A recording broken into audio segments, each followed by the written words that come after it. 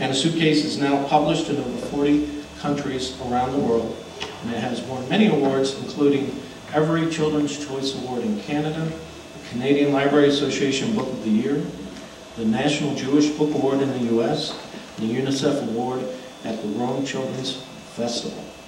Reaching over three generations in three continents, Hana's Suitcase connects a young Jewish girl who was killed at Auschwitz, a Japanese curator determined to share her story, and Hana's brother who lived in Canada.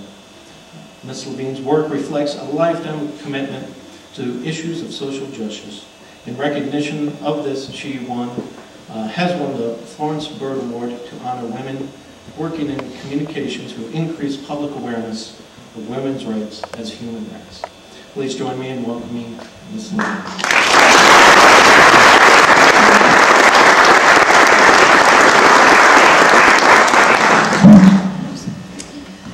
Um, it is a great honor to be here tonight um, in this center named for Robert Jackson, who played such a huge role in defining um, our modern understanding of crime and punishment and human rights and justice and accountability.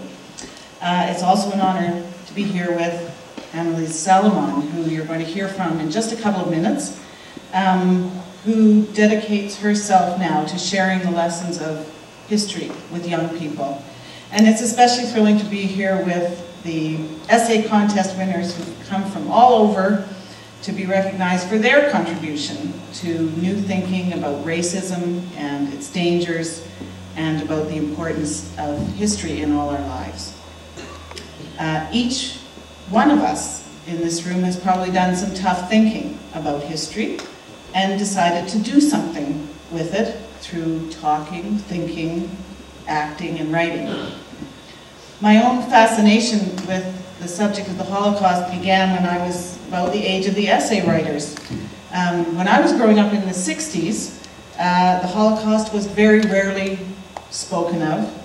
Uh, it certainly wasn't taught in school. Um, there were no books written uh, for children. Uh, but a chance encounter I had with a Holocaust survivor in an Ottawa delicatessen, and then a trip to the museum at the concentration camp Buchenwald when I was 13, ignited what turned out to be a lifelong interest for me in this subject. I started reading voraciously anything I could get my hands on uh, when I was 13, and all these years later, and it's many years later, um, I'm still reading. I used to worry, actually, um, at various points in my life, that I was obsessed. Um, was there something wrong with me? I wondered. Um, that I couldn't see enough, hear enough, read enough, and know enough about this horrible um, period in history. I was drawn to it for many reasons. Um, I wanted to understand, and I'm still trying to understand uh, how such a terrible thing could have been allowed to happen by the world. I wanted to understand how survivors like Annalise could even put one foot in front of the other um, after living through what they lived through. And of course, because I'm Jewish, I always knew that if I had been born in a different time or place, that that easily could have been me or my mom or my dad or my sister uh, living through that experience or more likely actually dying in it. I was also full of questions and I'm still full of questions. Um, how do human beings become murderous racists? How do seemingly civilized countries uh, and peoples turn into killing machines? What about the people who stayed good and decent? What gave them the courage to fight back against tyranny, to hide a terrified neighbor, or to join the resistance? Would I have had the guts to join the resistance? How should the world punish what we now know as crimes against humanity? And of course, how can we make sure it never happens again?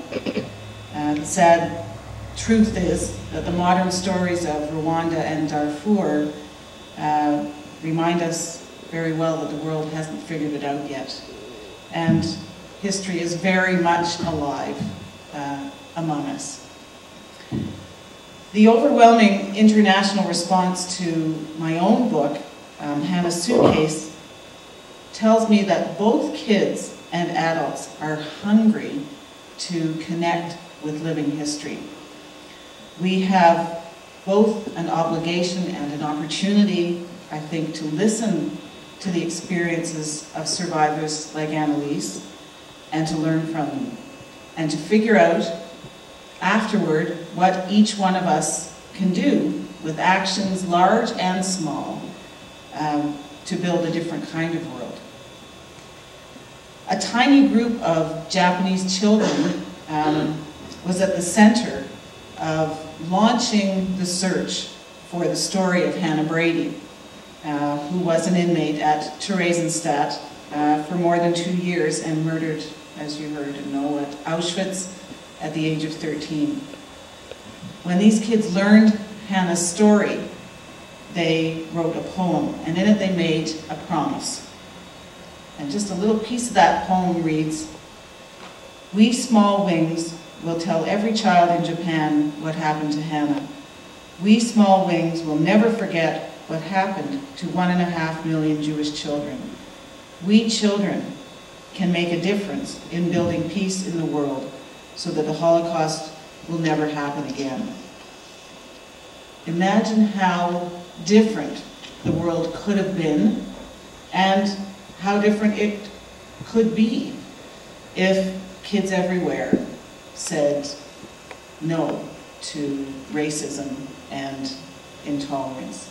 The kids who wrote these essays and won these prizes um, who we're celebrating tonight and the people who put this contest together are doing just that. And in a way, there can be no greater honor to people like Robert Jackson, or I would bet to people like Annalisa Solomon.